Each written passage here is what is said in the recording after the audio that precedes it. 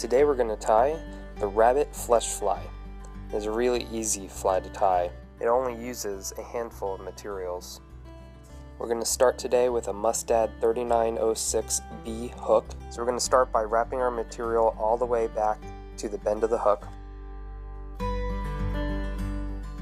Then like always, make sure you add some head cement. Next we're going to take our rabbit zonker strip and if your strip is squared off at the end like so, go ahead and trim off the shorter hairs. This will leave your zonker strip looking nice and tapered at the end. Next you want to measure out your tail. Usually it's about the same length as the hook.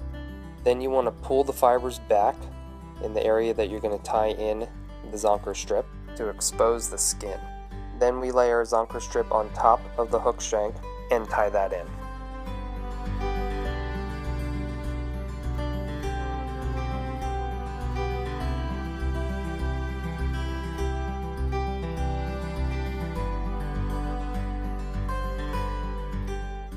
Next, we pull the zonker strip back to expose the hook shank and wrap our thread to about a quarter of an inch from the eye of the hook.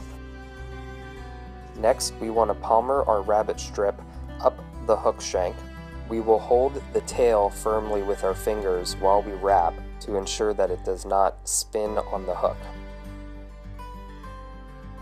As we palmer, make sure to sweep the hairs back with your fingers to ensure that they are angled backwards.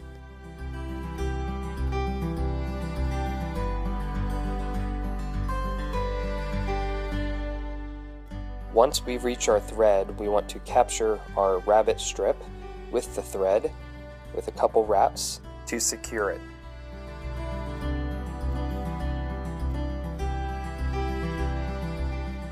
Then you can cut the excess rabbit strip. Once your rabbit strip is cut, and you want to pull all the fibers back away from the eye of the hook. You may now proceed to build a tapered head on the hook.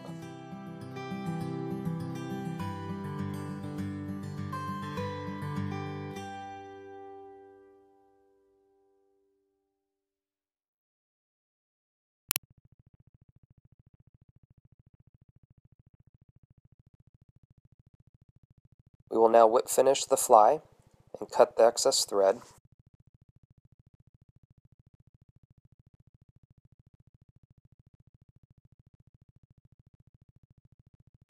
You can either put head cement, super glue, or what I like to do is UV epoxy the head of these flies.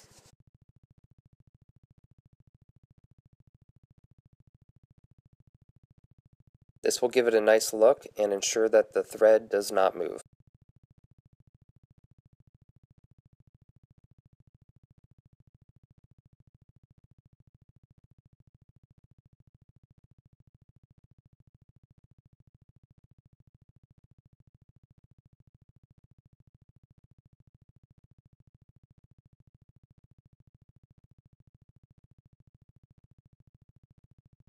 Once your epoxy is cured, the fly is done. With the rabbit fur, this fly will almost breathe in the water. It's a really nice looking fly and moves quite a bit. If you like what you see, please subscribe and check out my other videos. Enjoy tying and go catch some fish.